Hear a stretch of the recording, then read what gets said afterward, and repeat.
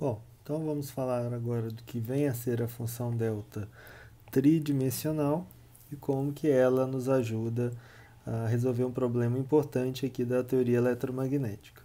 Então, na aula anterior eu falei da função delta unidimensional e agora eu vou falar da função delta tridimensional, que é definida como dessa forma aqui.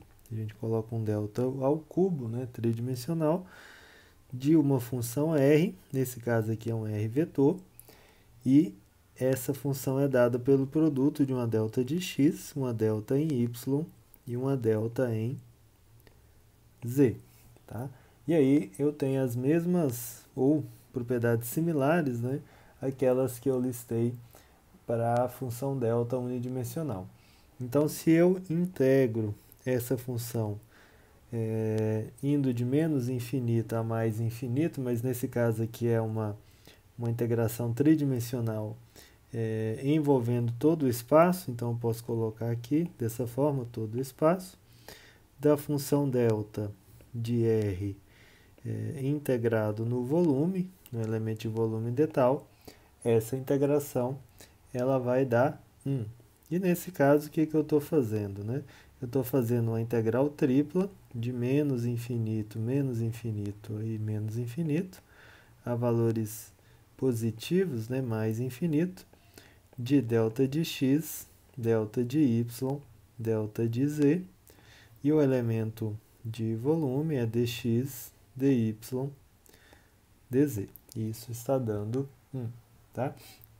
E da mesma maneira, se eu multiplico uma função é, r, tá, que depende de r, do r vetor, pela minha função delta, e se nesse caso eu, minha função ela não tiver centrada em zero, como é o caso que eu tenho aqui, mas centrada em, é, no ponto A, A é um vetor, então nesse caso aqui eu também tenho, a, eu posso escrever né, a função no ponto A, delta ao cubo de R menos A, e aí se eu faço a integração sobre todo o espaço, né, essa integral tripla, de f de r delta ao cubo de r menos a de tal.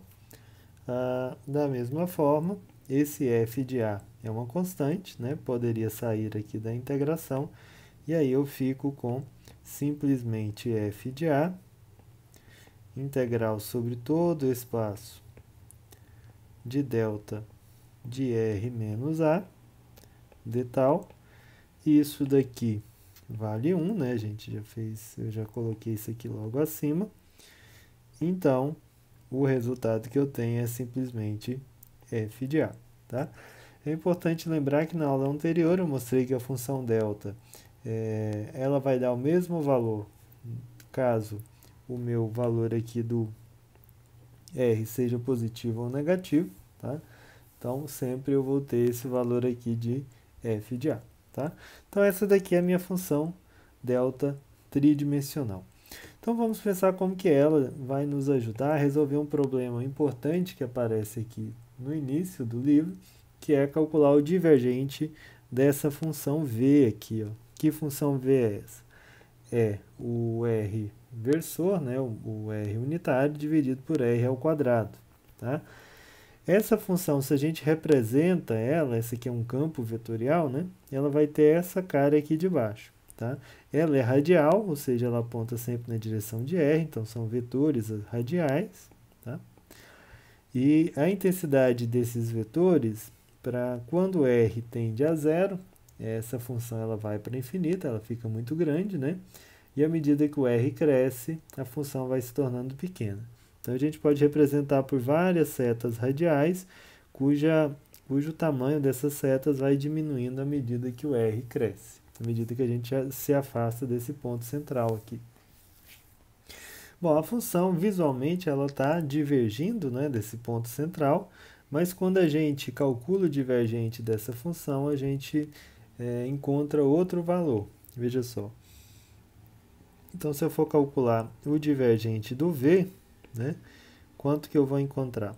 Para isso eu posso usar as, o divergente em coordenadas esféricas, que é essa coisa grande que eu escrevi aqui, vai se tornar muito mais fácil em coordenadas esféricas do que em coordenadas cartesianas, porque o, a gente pode olhar essa função aqui né, como sendo 1 sobre r ao quadrado vezes r chapéu, e aí essa função ela só tem componente ah, ao longo da direção r. Tá? Então daqui, né, essa, esse 1 sobre r ao quadrado é o VR, tá? Componente do v na direção radial é 1 sobre r ao quadrado. E o v θ é igual ao v φ, que é igual a zero, tá? Então, fazendo a aplicação, aqui vai dar zero por conta do Vθ, aqui vai dar zero também por conta do Vφ, e a gente só vai ter um termo dessa forma, tá? Então, o que, que eu tenho que fazer? Eu tenho que fazer 1 sobre r ao quadrado, pela minha fórmula do divergente, derivada em r de r ao quadrado, e aí no lugar do VR eu vou colocar 1 sobre r ao quadrado. Então fica vezes 1 sobre r ao quadrado. Bom, corta r quadrado com r ao quadrado, vai ficar é, derivada em r de 1, uma constante, e isso vai dar, né, derivada de uma constante, dá zero. Tá? Então, o divergente dessa função, de uma forma esquisita, dá zero. Isso significa que se eu integrar esse divergente né, do v é, em um certo volume, tá? Como o divergente vale zero, isso aqui também vai valer zero, essa integral dá zero. Bom, agora vamos pegar novamente essa função e vamos calcular o seguinte. Então, vamos lembrar, né, a função v é 1 sobre r quadrado r chapéu, e vamos fazer a integração desse v em um certo é, em uma certa área, tá? Então vamos calcular a integral de v Deixa eu fazer aqui mais acima. Vamos calcular uma integral fechada de V em uma certa superfície, dA. Tá? Qual a superfície que eu escolho para fazer uma superfície fechada? Melhor em coordenadas esféricas, né? Então, isso aqui vale quanto? Melhor em coordenadas esféricas da forma como eu desenhei aqui. Então, vamos considerar um certo R, tá? Eu vou integrar isso nessa esfera de forma que esse vetor dA aqui, ele vai apontar de forma radial. Como a gente viu em coordenadas esféricas, esse vetor dA, ele é r ao quadrado seno θ, é, dθ dφ. Qual direção ele aponta? Na direção radial. Então, eu tenho aqui um r chapéu, tá certo? Então, integrando essa função né, é, nessa superfície esférica, que abarca aqui a origem, o que, que a gente vai ter? Né? Então, vou fazer aqui o produto escalar de V dA. Quem é o V? V é 1 sobre R quadrado, R chapéu. Produto escalar com o dA. Quem é o dA? É R ao quadrado, seno θ, dθ defina a direção R chapéu. Fazendo esse produto escalar que aparece aqui, eu tenho R chapéu com R chapéu, que são os, os vetores né, unitários. Isso vai dar 1, já que eles são unitários. Esse R ao quadrado corta com esse R ao quadrado. Então, é, V produto escalar dA vai resultar em seno de θ dθ dφ. Como a minha integração é sobre uma superfície fechada, então é uma integral dupla em θ e em φ, que vai de 0 a π para θ e a 0 a 2π para φ, de seno de θ dθ dφ. A integral em φ vai dar o próprio φ, que indo de 0 a 2π vai dar 2π, então fica 2π integração de 0 a π de seno de θ dθ. A integral de seno de θ é menos cosseno de θ, indo de 0 a π. Então, eu vou ter menos 2π, e aí eu vou ter cosseno é, de π menos cosseno de zero.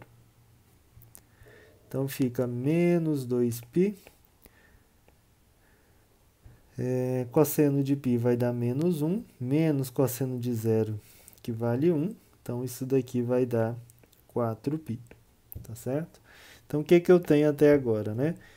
Eu tenho que a integração de, né, no volume, né, do divergente do V de tal dá zero, e eu tenho que a integração fechada na superfície de V dA dá 4π.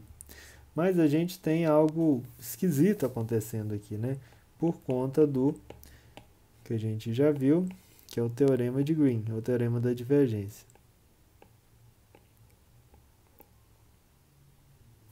Que diz o seguinte, que o integral no volume de uma função do divergente, né, de V de tal tem que ser igual à integral fechada na superfície de V dA. E se a gente observar aqui, uma está dando zero e a outra está dando 4π. O que está errado? O teorema da divergência?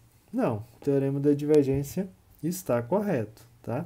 Ele está correto porque é um resultado matemático. Então, se ele está correto, uma dessas integrações, a princípio, está errada. Mas qual delas está errada? A primeira ou a segunda? Então, se a gente voltar naquilo que a gente fez, né, aquilo que eu fiz aqui agora, quem vai estar errado? Bom, já adianto para vocês que quem vai estar errado é o cálculo do divergente do V. Na verdade, ele não está errado, mas aqui existe um detalhe matemático que a gente tem que tomar cuidado, que é o seguinte. Beleza, aqui dentro, é, r ao quadrado com r ao quadrado deu 1, um, cortou com o outro, né? Deu 1. Um a, derivada de 1 realmente dá zero, mas a gente tem um, um problema aqui para esse cálculo, justamente porque eu tenho aqui de fora dessa derivação 1 sobre r ao quadrado. E 1 sobre r ao quadrado não está definido para o, caso em que o r vale a zero, porque eu não posso dividir por zero. Tá? Então, essa, esse divergente ele, ele não está certo em todos os pontos justamente por conta da origem aqui, porque o divergente não está definido na origem. Então é esse fato, esse único ponto, essa origem que vai levar a que eu obtenha um valor equivocado, tá? Por conta da origem não estar definida. E se a gente observar a nossa integração diária, né? Quando eu faço a integração diária e obtenho 4π, a gente tem que observar que o ponto, ou seja, a origem, ela não está definida dentro dessa integração. Né? A gente está integrando nessa superfície dessa esfera. Mesmo que essa esfera tenda a um valor muito próximo de zero, ainda assim o ponto r igual a zero não está na minha integração. Então, essa integral dando 4π, essa integral está correta. Tá?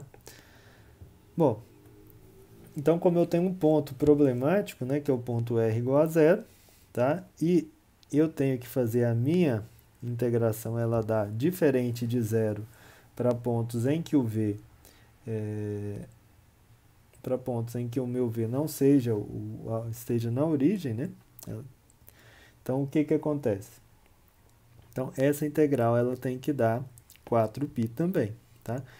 Então a única forma dessa integração dar 4π é se a gente tiver ah, se a gente tiver o, a nosso, o nosso divergente de V, ou seja, de R chapéu sobre R ao quadrado, sendo dado por 4π vezes a função delta de delta tridimensional, né, de R. Tá? Nesse caso, esse divergente vai dar 4π? Bom, vamos calcular, né? Então, se eu calculo o divergente né, sobre todo o volume, ou sobre um certo volume, do R chapéu sobre R ao quadrado, o que, que a gente obtém? Ah, então, vai ficar a integral sobre o volume de 4π vezes a função tridimensional de R, de tal, E aí, nesse caso, né, o, a nossa função f de a, ela vale o é, 4π. Então, isso aqui é o f de a, tá certo? Então, quando a gente faz essa integração, o resultado que a gente obtém é 4π, pela definição da integração da função delta de Dirac. Então, aí sim, nós obtemos o mesmo valor que nós obtemos com essa outra integração aqui. Tá? Então, a gente pode concluir, né? Então, nós podemos concluir que o divergente de R chapéu sobre R ao quadrado dá 4π delta tridimensional de R. A gente pode estender esse resultado para um outro R que nós defini, definimos. Né? Lembre-se que nós escrevemos um R cursivo como sendo é, R menos R', tá certo? Então, nós também temos o mesmo resultado. Se a gente for fazer o divergente de R, R cursivo sobre R ao quadrado, isso também tem que dar 4π delta tridimensional desse R. Lembrando que esse R, né, se eu substituo aqui, vai dar R menos R'. Na prática, o que a gente fez aqui foi fazer a função delta, né, mas para um R centrada, né, para um R diferente de zero, do zero vetor. Ela está centrada aqui no R igual a R'. Tá? O que, que isso tem de importante? Existe um exercício no livro, que vocês podem ter feito, que diz o seguinte. Então, tem um resultado de exercício.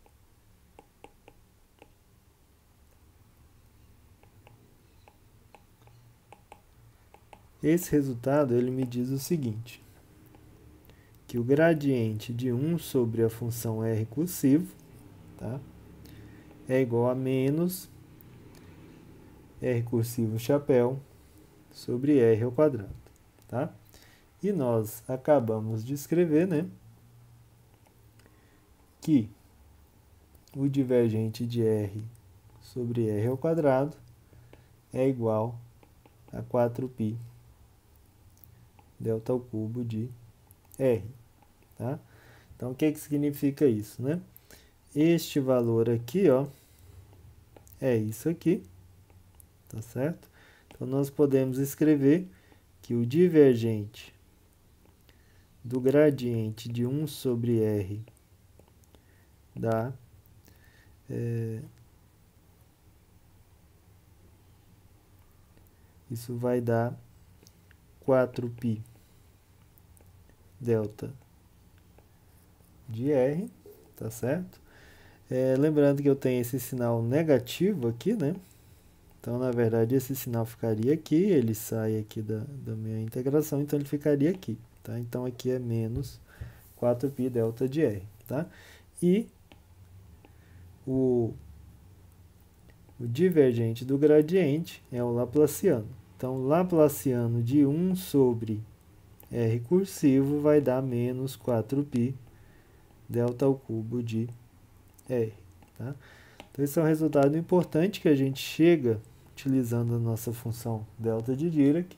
Isso vai ser utilizado bastante para a gente, porque quando nós formos escrever o campo elétrico, o campo elétrico vai aparecer como sendo 1 sobre 4π ε0, é, carga sobre é, r ao quadrado, na direção, na direção r versus. Tá? Em algum momento nós iremos calcular o divergente do E, e aí vai ficar 1 sobre 4π ε0, essa carga é constante, e aí nós calcularemos o divergente de R chapéu sobre R ao quadrado, que nós sabemos que dá a função delta. Tá? Então é para. E fisicamente né, isso faz sentido, ou melhor, isso é importante, porque quando a gente tem uma carga pontual, vamos pegar aqui a, o desenho que eu fiz, centrada na origem, imagina que eu tenho um elétron aqui, né, centrado na origem, é, como o elétron é uma carga pontual, o que, que vai acontecer com o campo elétrico para o momento em que o R tende a zero? Né? Já que é pontual, então esse R pode ser pequeno quanto eu queira. Tá? Então, nesse caso também, o nosso campo elétrico tenderia ao infinito. Tá? Uh, o que em, alguns, em algumas situações não faz é, muito sentido. Tá certo? Então, nós vamos tratar disso mais na frente. Tá bom? Bom, então é isso. Essa aqui é a nossa função delta tridimensional e ela vai nos ajudar na, no cálculo do campo elétrico para situações envolvendo cargas pontuais. Então, é isso.